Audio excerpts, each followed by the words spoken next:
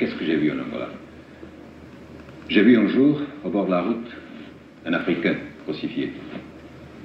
Pour moi, l'Angola, c'est toujours cette image-là. Quand je pense à l'Angola, c'est toujours un Africain crucifié au bord de la route. Mais c'est aussi les, les têtes des prisonniers coupées par le sous-lieutenant Lignage. Il faisait ça tous les matins. Il essayait, il essayait de le faire d'un seul coup pour maintenir sa forme physique. L'Angola, pour moi, c'est aussi mon ami, mon compagnon, un officier d'armée portugaise, Manuel Ortiga. Il est mort à Nabongongo. Il était contre la guerre. Il reconnaissait au peuple angolais le droit à l'indépendance. Il voulait faire quelque chose contre la guerre. Il est mort. Enfin, l'Angola, c'est encore beaucoup d'autres choses, mais je crois que j'en ai dit euh, déjà assez pour que vous puissiez comprendre pourquoi je me suis révolté, pourquoi j'ai organisé et participé dans cette révolte contre la guerre en Angola. Malheureusement, la révolte a échoué. J'ai été arrêté sur place par la police politique. J'ai été démobilisé et donné à la police politique, ce qui est tout à fait illégal. Il ne fait que confirmer, prouver l'indépendance de l'armée portugaise, son asservissement vis-à-vis de, de la police politique. J'ai passé quelques mois dans la forteresse de São Paulo, à Luanda.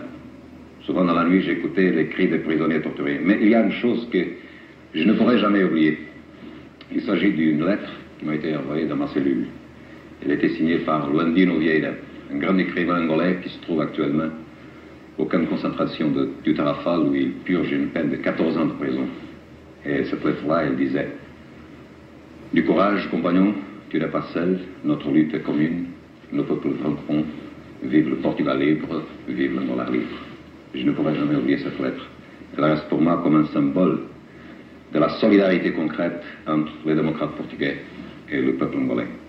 Mais il y a une chose aussi que je voulais souligner, c'est que, nous nous sommes révoltés en Angola. Pourquoi l'avons-nous fait? C'était pas seulement parce que moi, j'avais une conscience politique du problème. Je savais au point de vue politique ce que c'était que le colonialisme. Ce n'était pas seulement non plus par euh, un devoir de solidarité. C'était aussi, pour moi, par une question, pour ne pas euh, avoir peur, peur, du mot, par une question de patriotisme. Parce qu'il y a quelque chose pour moi de très important, c'est l'honneur et le prestige de mon pays. Évidemment, j'en ai une conception qui est tout à fait différente de celle de M. Salazar et M. Quetenon. Nous sommes partis à la découverte, mais nous n'avons jamais découvert le Portugal même. Et je crois qu'en découvrant, en donnant enfin, d'autres mondes au monde, je crois que nous nous sommes perdus un peu. Et je dis qu'il faut rentrer, qu'il faut trouver le chemin de retour. Il faut découvrir maintenant le Portugal, le Portugal.